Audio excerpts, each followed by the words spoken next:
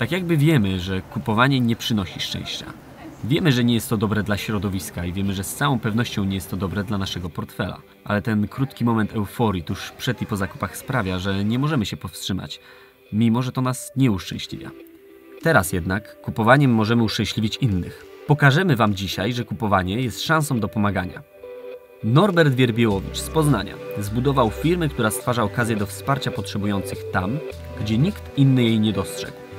Korzystając z jego aplikacji, część pieniędzy z Waszych zakupów w internecie trafi do dowolnej fundacji, schroniska czy nawet szkoły, którą wskażecie. Pomoc ta nic nie kosztuje. To sklepy internetowe płacą za pomaganie. Wystarczy zainstalować wtyczkę, dzięki której podczas zakupów jednym kliknięciem możemy przekazać darowiznę dla dowolnej organizacji pożytku publicznego.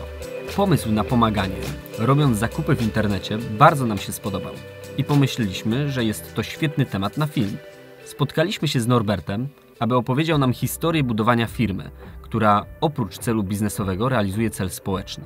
Zimą 2014 roku zadzwonił do mnie kolega e, Kurt Montgomery. To jest Amerykanin, który od początku lat 90. mieszka w Polsce i spotkaliśmy się. Kurt opowiedział, że on ma takie marzenie, że jest w Polsce taka organizacja, która w profesjonalny sposób będzie pomagać szkołom i dzieciom w szkołach zarabiać pieniądze. Kurt pokazywał mi przykłady, że są takie firmy w Stanach, które mają dwa cele. Z jednej strony cel biznesowy, ale również może mieć drugi cel, cel społeczny. Norbert i Kurt postanowili stworzyć nowoczesny sposób finansowania szkół. Skupili wokół siebie kilkuset przedsiębiorców, właścicieli sklepów osiedlowych. Część pieniędzy z zakupów dokonywanych przez rodziców trafiała do szkoły. Budżetem miały zarządzać dzieci przy wsparciu dorosłych tak, aby uczyć się przy tym zaradczości. Norbert wyprodukował karty lojalnościowe, dzięki którym wszystko mogło się odbywać sprawnie. W swojej głowie miał wizję dzieci, które finansują sobie piłki i wycieczki dzięki własnej przedsiębiorczości. Niestety, wizja ta nie okazała się łatwa do zrealizowania. Dzieci się zaangażowały, no bo dzieci, jak to dzieci, mają dużo e, wrodzonej energii, mają taki naturalny pęd. E, włączyli się nauczyciele z pasją. E, hamulcowymi była sama struktura szkoły, czyli dyrekcja. Zadanie szkoły sprowadzało się do sprzedania kart rodzicom, które Norbert i Kurt wyprodukowali i sfinansowali. W szkołach, które aktywnie przekonywały rodziców, pomysł zaczął się świetnie sprawdzać. Niestety, w zdecydowanej większości szkół dyrekcja nie robiła nic, aby zrealizować projekt. Karty zaczęły wracać do Norberta w wielkich ilościach, a on zaczął rozumieć, że znalazł się w finansowych tarapatach. Fani Mani potrzebowało nowego pomysłu, aby przetrwać.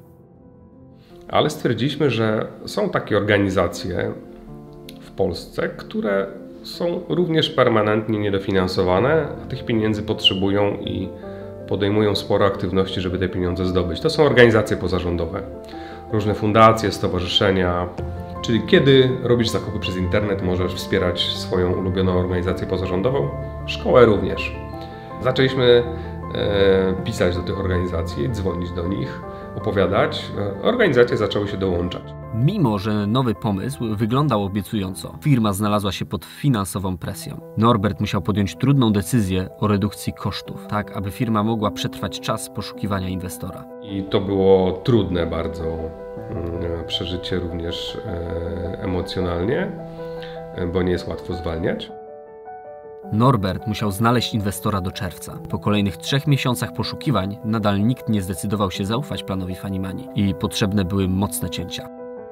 Pamiętam taką rozmowę z Kurtem na parkingu, e, kiedy siedzieliśmy e, w samochodzie przed e, bankiem, w którym zlikwidowaliśmy rachunek jeden bankowy i zastanawialiśmy się, co będzie, kiedy nie spełni się nasz ostatni wariant, czyli pozyskanie inwestora w czerwcu. Wiecie, to są takie mm, pytania łatwe i, i niełatwe. No oczywiście, co dalej? No, trzeba sobie znaleźć inne zajęcie, znaleźć pracę. Z jednej strony, oczywiście to jest proste, a z drugiej strony e, też psychicznie obciążające, no bo musisz się przyznać do tego, że twój pomysł nie wypalił, że, że po prostu poniosłeś porażkę. Musisz tą porażkę wytłumaczyć sobie e, i wytłumaczyć innym, rodzinie, znajomym, tym wszystkim, którzy pukali się w głowę, kiedy rzucałeś fajną pracę. Na szczęście ten czarny scenariusz się nie spełnił, e, bo udało nam się pozyskać inwestora w czerwcu. Mm, był to ostatni moment, który nam pozwolił E, przetrwać. To był taki mocny oddech. E, z jednej strony oczywiście finansowy, e, a z drugiej strony to było dla nas potwierdzenie, że ktoś oprócz nas wierzy w nasz biznes. Zwrot, który dokonaliśmy w Fanimanie okazał się trafny. Bardzo szybko pozyskaliśmy kilkaset organizacji, które chciały korzystać e, z portalu Fanimani. Przez Fanimani nie byłem w ogóle świadomy tego, ile jest w Polsce organizacji pozarządowych i czym one się zajmują. Ja nie byłem świadomy tego, że w Polsce jest tylu ludzi, którzy angażują swój prywatny czas i często prywatne pieniądze w to, żeby pomagać innym. Jakby trochę przewartościowuje e, spojrzenie na, e, na własne życie. To dla mnie był naprawdę e, duży szok, że obok mnie są ludzie, którzy są prawdziwymi bohaterami, nie takimi zwykłymi pracownikami, którymi ja byłem wcześniej. To są prawdziwi bohaterowie, którzy poświęcają swój własny czas i pieniądze, żeby komuś bezinteresownie pomóc. Norbert miał wiele do stracenia. Zrezygnował z dobrze płatnej pracy i zaryzykował dochód swojej rodziny. Dzięki niemu teraz do niesienia pomocy dzieli nas tylko jedno kliknięcie. Na co więc czekamy? Następnym razem robiąc zakupy w internecie, zróbmy coś więcej.